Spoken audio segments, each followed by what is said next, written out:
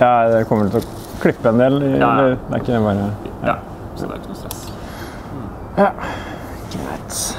Yo, yo, yo, det er Kenneth, det er Kenneth Stående Haugestad Den her er fra, til, til og for Groruddalen Vi også gir kjære til navnet Den her, den er for Groruddalen for hele Groruddalen Du må du kunne fortelle litt om artikkelen du har skrevet for oss i Samskritteren. Jeg tenkte at det var på tide kanskje å se på å skifte fokus litt der, i klimadebatten. Fordi det har handla veldig mye om, sånn, eh, om selve klimavitenskapen, om vær og måte veldig sånn fysiske, naturvitenskapelige ting. Da.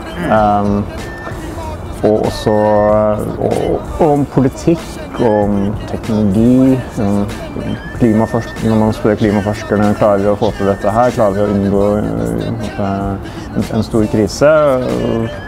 Og så svarer klimaforskerne ja, ja, det er jo fysisk mulig, det er jo teoretisk mulig, men, det er ikke lenger opp til dem. Da, nå, er det jo, nå er ikke dette først og fremst deres uh, fagområde lenger. Nå er det opp til alle oss andre. Hvordan skal vi som mennesker, vi som samfunn, da, klare å ta inn over oss alt det de har, har fortalt. Um, og da er det litt, litt andre faggrener. Da. Da er det, er det liksom psykologi og historie og antropologi og alt mulig. Alle disse eh, eh, faggrenene som kanskje er bedre egnet til å svare på hvordan vi skal gjøre en sånn endring.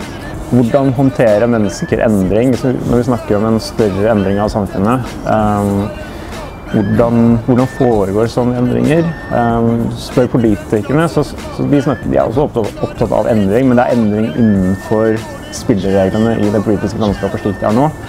Uh, de klarer ikke å se større på det og se hva er det store mulighetsrommet som vi mennesker og vi samfunn uh, opererer innenfor. Da, da kan man f.eks. snakke med historikere. Man kan se på hvordan har, har større endringer skjedd før. Man kan snakke med psykologer som, som ser på hvordan mennesker tar inn over seg informasjon de kanskje helst ikke har lyst til å høre. Um, og vi trenger, uh, trenger hjelp fra økonomer til å se på hvordan kan vi drive økonomien vår på en måte som ikke ødelegger verden. Det er, det er noe som de kanskje ikke har tenkt så veldig mye på inntil nylig. Så økonomene har vært mest opptatt av hvordan kan vi få mest mulig vekst. Uh, men kanskje vi kunne stille deg et annet spørsmål. Hvordan klarer vi å få til velstand innenfor de grensene som naturen setter?